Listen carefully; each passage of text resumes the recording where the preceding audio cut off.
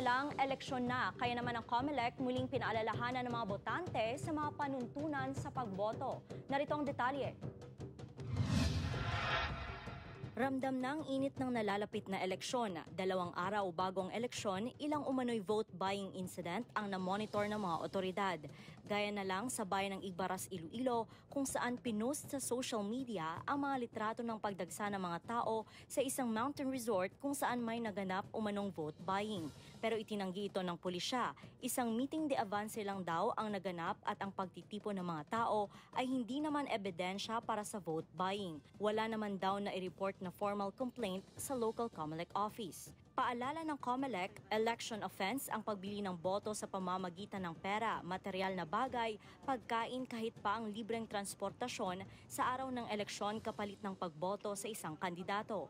Pahayag pa ng COMELEC, hindi lang dapat i-post sa social media ang mga namomonitor na vote buying incident, kundi welcome ko any complaint. Basta may formal complaint lang like mga affidavits, no, dapat naka-affidavit or may mga evidence ka mo like uh, pictures or videos, include yun lang sa complaint. Eh, para ma-actionan ba namon? Kasabay ng huling araw ng campaign period ngayong araw, ayon sa COMELEC ay maituturing na election offense ang kahit anong uri ng pangangampanya ng mga kandidato o mga taga-suporta nito simula bukas. Nagbabala din ang COMELEC sa mga supporter, botante at mga kandidato na magsusuot ng t-shirt na nakaimprenta ang mukha o pangalan ng kandidato sa araw ng eleksyon. Maituturing daw itong election offense dahil pamamaraan ito ng pangangampanya. Magsisimula ang botohan sa lunes alas 6 ng umaga hanggang alas 7 ng gabi. Kailangang makuhanan ng temperatura ang botante bago pumasok sa polling area bilang pagpapatupad ng health protocols. Sa loob ng voting precinct, hanggang sampung tao lang ang pahihintulutang sabay-sabay na makaboto sa isang classroom. May nakalaan din na priority lanes para sa mga taong may special needs tulad ng mga PWD, matatanda at mga buntis.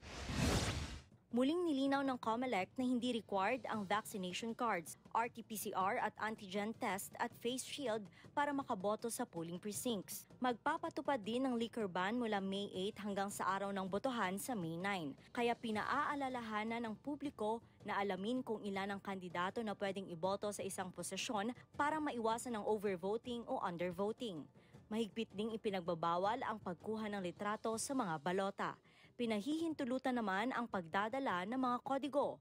Ako si Zen Kilantang para sa GMA Regional TV.